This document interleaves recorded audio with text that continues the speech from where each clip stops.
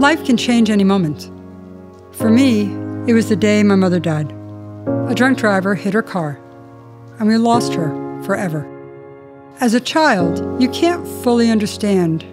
You know your family was the victim, but you can't change what happened.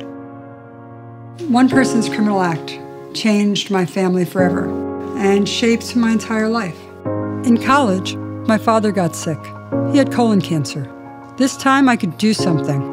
I came back from college every weekend to care for him, but also to be his voice against insurance companies and hospital administrators.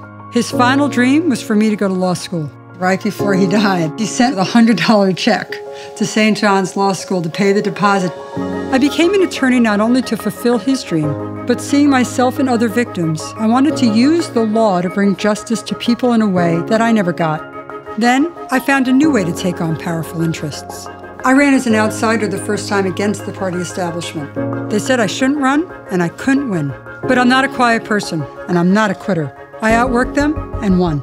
As a legislator, I passed legislation to give victims of child sexual abuse more time to report their abusers and gave women greater access to reproductive health care. And I fought for workers, getting them fair wages and better working conditions.